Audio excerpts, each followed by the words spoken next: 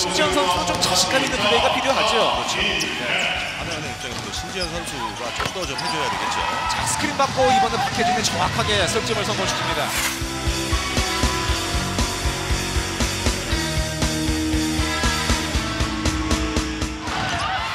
박혜진, 이명희에게 다시 박혜진입니다. 우중간에 석점 정확하게 들어갑니다.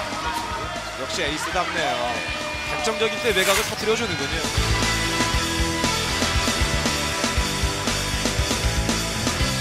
이번에 레코드만도 튕겨져 나왔습니다. 아, 힙이 하나 있는데도 돌아가 도망가지를 못하네요. 저런 장미스가 좀 많습니다. 아, 박혜진 선수 아주 멋진 속공이 나왔습니다.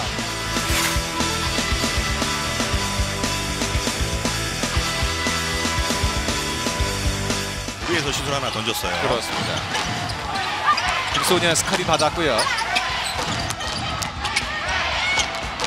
아, 좌중간에서 아주 어, 과감하게 던졌네요, 지금은. 정확히 찬스가 나면 자, 골밑. 어렵게 볼이 나왔습니다. 박혜진 정면 점프슛 성공입니다. 박현희 선수. 팀의 사기에도 매우 도움이 됩니다. 그렇습니다. 공격이 너무 3쿼터 막혀 있었던 KB 하나은행인데 박혜진 좌중간 45도 성공시킵니다. 아, 여유가. 여유가 있어요. 수비를 보면서 우중간 열었습니다.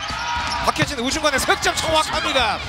자 위성호 감독이 좀 전에 얘기했던 좌중간 바운스 패스 김정은에게 정면 박혜진 열렸습니다. 박혜진의 석점 아, 정확합니다. 박혜진 선수. 열리면은 여지 없군요. 네.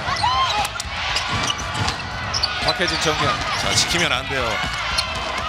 왼쪽 사이드 김정은 김정은이 뚫고 들어갑니다. 박혜진 우중간 시간을 충분히 활용하고 있습니다. 서두를 이유가 없는 우리은행입니다. 그렇죠. 정면 점프슛 좋아요. 안정되게 성공이 되는 박혜진입니다.